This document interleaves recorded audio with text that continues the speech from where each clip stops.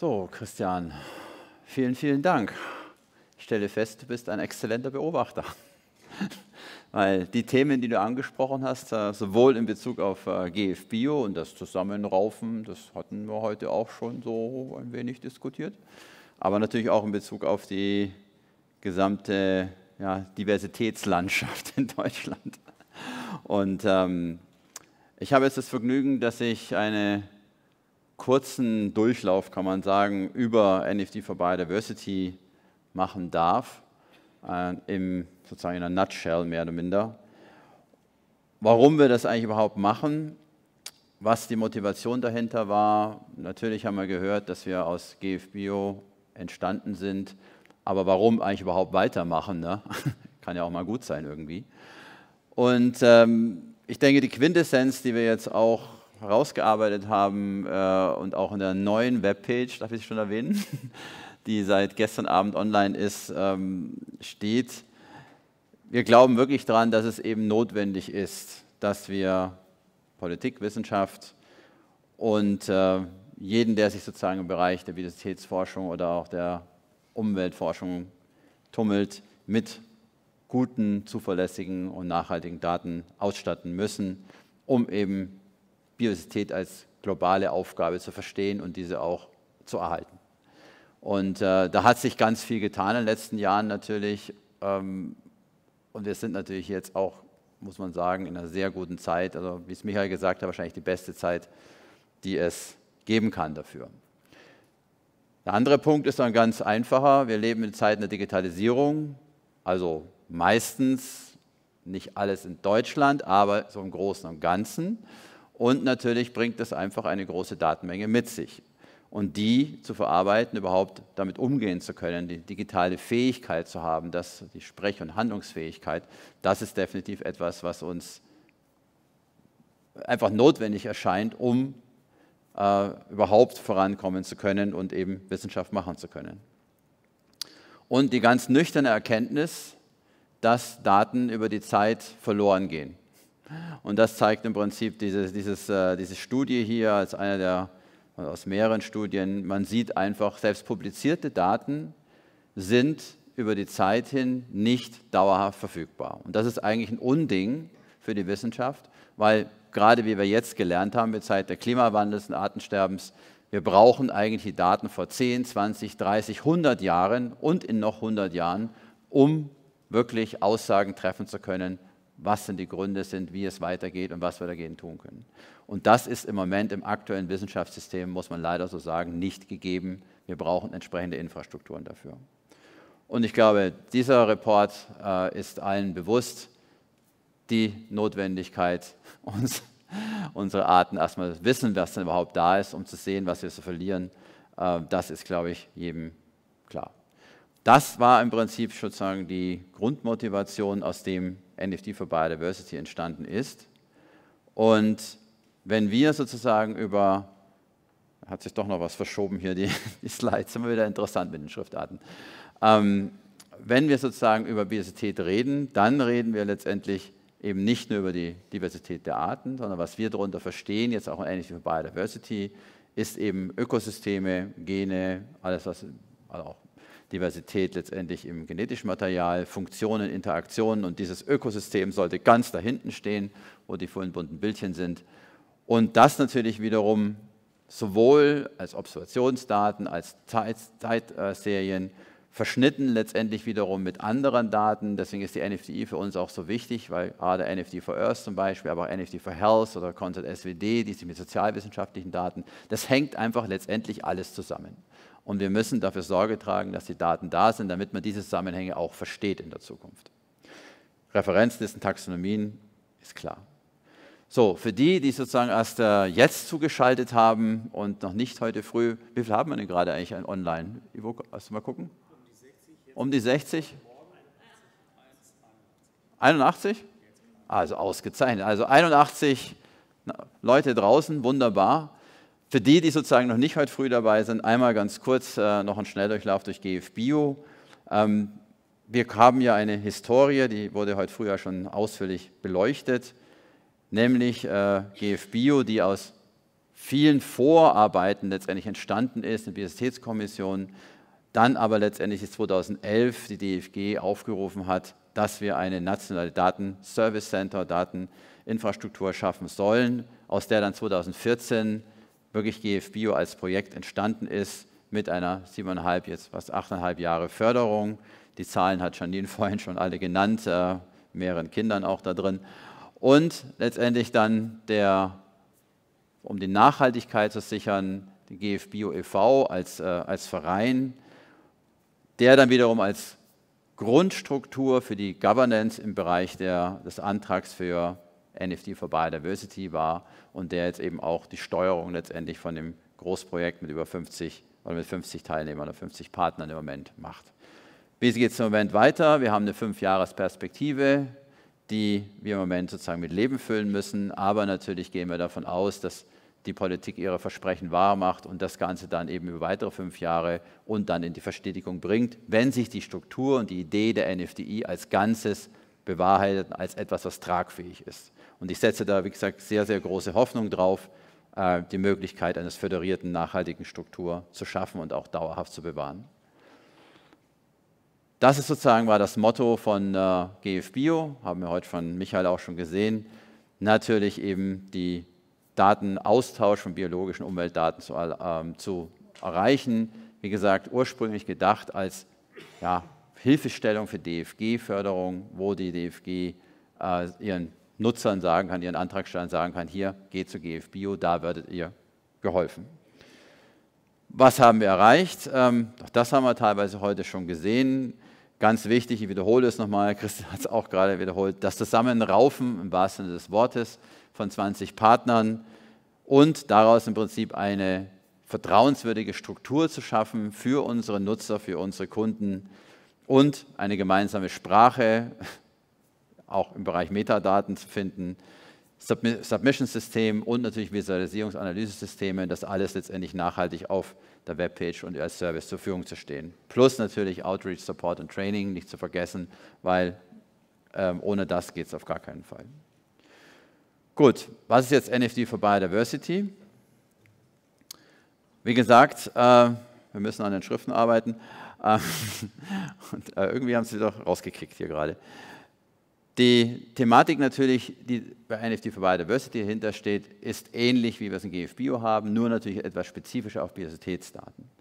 Nämlich, wie kann man verschiedenste Datensysteme, Typen, äh, Beobachtungsdaten, Verteilungsdaten, Ökosystemdaten, alles, was hier im Prinzip steht, äh, funktionelle Daten, aber auch natürlich Daten aus äh, Sammlungen, molekulare Daten, ähm, Modelldaten oder Satellitendaten am Schluss zusammenbringen, die, und das kommt erschwerend hinzu, eben nicht an einer einzigen Ort zu finden sind, sondern verteilt sind über verschiedenste Systeme, über verschiedenste ja, auch Einheiten und wir leben in einem föderalen Deutschland und jedes Bundesland hat nun mal seine eigenen Systeme und jede Behörde hat sein eigenes System und Bürgerwissenschaften arbeiten anders wie, wie, Forschung, aber dennoch ist es ein großer Datenschatz, den wir zusammenbringen müssen. Und so mit dieser Idee haben wir NFT for Biodiversity aufgebaut.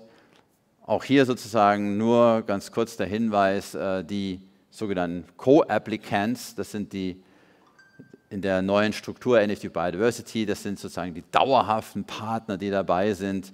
Wichtig für uns ist einfach nur, wir haben Datencenter, wir haben Infrastrukturprovider, wir haben Informatik dabei, natürlich, ohne das geht es ja nicht. Biologie, wir haben natürlich äh, die gesamte Outreach und Training dabei und das Ganze verteilt über ganz Deutschland. Und der wirkliche Schatz, glaube ich, der neben den Co-Applicants ist, sind unsere Participants. Das ist sozusagen formal gesehen die, die zusätzliche Leistung in, GF, in Biodiversity einbringen. Hier an der Stelle nur die, großen, die vier großen Säulen letztendlich aus akademischen Bereich, natürlich aus der Forschung, die Datencenter und Sammlungen und natürlich die äh, Behörden und am Schluss sozusagen die Verbände und die Bürgerwissenschaften. Und das ist auch eine signifikante Erweiterung von GFBio, die wir eben so vorher nicht hatten wirklich noch integrativer zu sein, noch mehr aufnehmen zu können und neue Datenquellen zu erschließen, zu mobilisieren und auch letztendlich ähm, damit eben einen deutlich besseren, größeren Datenpool zu erlauben. Das Ganze manifestiert sich in den Use Cases erstmal. Also uns ist klar, man kann auch mit 50 Partnern äh, und, und fünf Jahren nicht alles machen. Also müssen wir uns auf irgendwas konzentrieren. Und das sind für uns sozusagen die Kristallisation ist an der Stelle durch die Use Cases gegeben. Use Cases heißt, das sind wirklich konkrete Projekte, wo wir Dinge umsetzen wollen und werden, damit wir sehen und lernen können, wie Dinge funktionieren und dass man die letztendlich dann als Transfer transferieren kann in die Breite. Das wäre die Idee dahinter.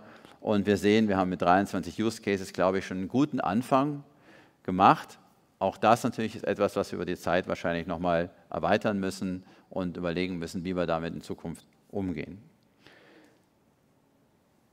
Was wollen wir am Schluss liefern? Was sind sozusagen die Service-Portfolio, das wir haben oder das wir bereits haben oder das wir jetzt eigentlich auch transferieren wollen von NFR und GFBio? Mit unseren Partnern zusammen letztendlich gute, vertrauenswürdige, ja, getestete, funktionierende Tools, um Biodiversitätsdaten, Umweltdaten verfügbar zu machen. Das heißt also sowohl auf bestimmte datenrelevanten aus der Domäne sozusagen domänenrelevante Daten zugreifen zu können. Wir propagieren sehr stark das Front Office Back Office Modell. Das heißt also, wir als NFT for Biodiversity sind das Back Office. Wir können die Strukturen, die Infrastruktur und das Management und die Datenpools liefern, aber die wirkliche Abholen der Nutzer können wir nur teilweise liefern. Das muss vor Ort passieren. Deswegen sind wir sehr stark auch mit Universitäten, Data Stewards, mit Landesinitiativen in Kontakt, sodass wir im Prinzip dort versuchen, vor Ort Leute äh, zu haben, die wirklich die einzelnen Nutzer an die Hand nehmen können und dann mit uns zusammen letztendlich die Struktur schaffen, dass wir ein großes Netzwerk sind, wo die Daten eben fließen können. Und da arbeiten wir sehr stark dran im Moment.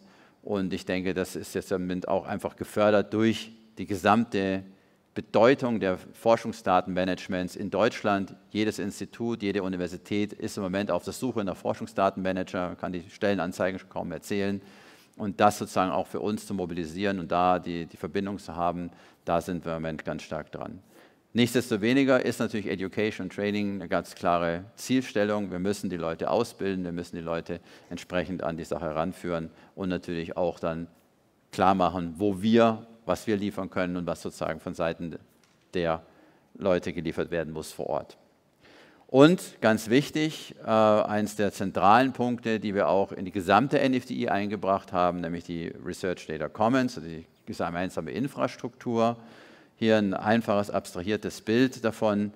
Die Idee ist einfach, dass man die Daten in einem Data Pool sozusagen halten kann, cloud-basierende Infrastruktur, über NFT for Biodiversity hinweg. Es ist als Cross-Cutting Topic in die NFDI eingeflossen, eine der Sektionen des NFDI EVs um sozusagen Daten abholen zu können, entsprechend aufzubereiten, äh, entsprechend zu speichern und dann letztendlich darauf sozusagen den Tool-Layer, den, den Application-Layer legen können, damit Leute eben sich die Daten dort abholen können in Form von Portalen, in Form von Suchfunktionalitäten oder in Form von programmatischen Zugriff natürlich, Analyse, Visualisierungsfunktionen zu haben, letztendlich das ganze Backbone zu liefern, um wirklich daraus dann eben Data Science, Wissenschaft machen zu können. Weil das wird am Schluss aus meiner Sicht das Kriterium sein, ob die NFDI, und ich rede nicht nur von NFDI Biodiversity, die NFDI als Ganzes überlebt. Sie muss einen Mehrwert für Forschung, Politik und Gesellschaft liefern. Wenn es das nicht tut, dann können wir auch wieder heimgehen. So, was ist natürlich wichtig, hatten wir auch schon natürlich erwähnt. Wir machen das nicht im luftleeren Raum. Dafür gibt es eine eigene Task Area, um das Ganze natürlich not reinvent the wheel, sondern letztendlich die Sachen, die da sind, zu nutzen, um auch weiterhin äh, damit ähm, anschlussfähig zu sein auf europäischer, auf nationaler und europäischer Ebene. EOSC ist natürlich die große Thematik im Moment, European Open Science Cloud. Gut, was liefern wir im Moment ähm, schon ganz konkret? Spezifische Workshops, natürlich mit unseren Partnern, Training, Teaching, das ist auch natürlich von GFBio geschuldet. Hier ist natürlich sehr, sehr viel Vorleistung gemacht worden. Öffentliche Events, ja, ich hoffe mal äh, auch in Zeiten von Corona wieder etwas besser, häufiger. Und was sind wir letztendlich oder wie verstehen wir uns selber? Wir verstehen uns schon als wirklicher anwendungsorientierter Netzwerk mit 50 Partnern und aktuell einer Fünfjahresperspektive, deutlich transdisziplinär zwischen Wissenschaft und Public Service sozusagen in die Öffentlichkeit und eben um Daten zu mobilisieren und damit auch ähm, diese sozusagen für die größere Biodiversitätsgemeinschaft verfügbar zu machen. Ja, und für die ersten drei Jahre ähm, natürlich wollen wir unser Arbeitsprogramm irgendwie erledigen, aber das halte ich gar nicht für den absolut wichtigsten Teil, sondern wir müssen das Netzwerk, also den, unser Netzwerk entsprechend aufbauen, dass es wirklich funktional und funktionierend ist.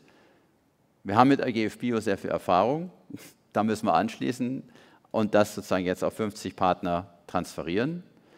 Aber eben, wie ich schon vorhin gesagt habe, dieses Mehrwertdienste für die Community, für die Wissenschaft, Forschung, ähm, Wirtschaft und äh, auch Politik zu liefern. Das wird unser, glaube ich, der Knackpunkt sein, an dem wir gemessen werden am Ende des Tages.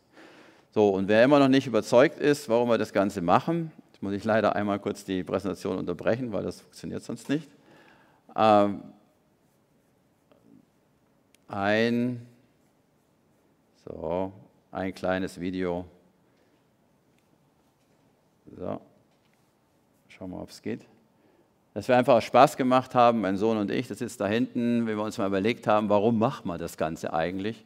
Und wir festgestellt haben, weil es diese Welt einfach wert ist. Ne? Und deswegen haben wir uns mal ein paar unserer Drohnenaufnahmen genommen und die zusammengeschnitten. Ich hoffe, das motiviert auch.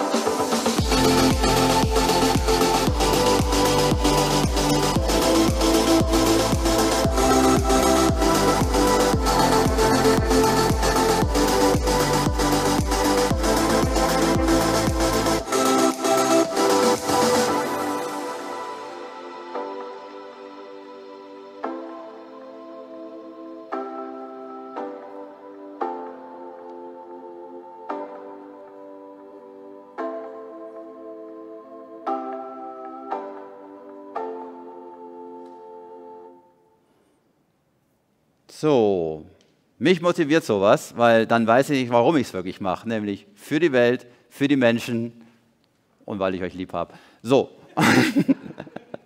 und damit verlasse ich jetzt die Bühne.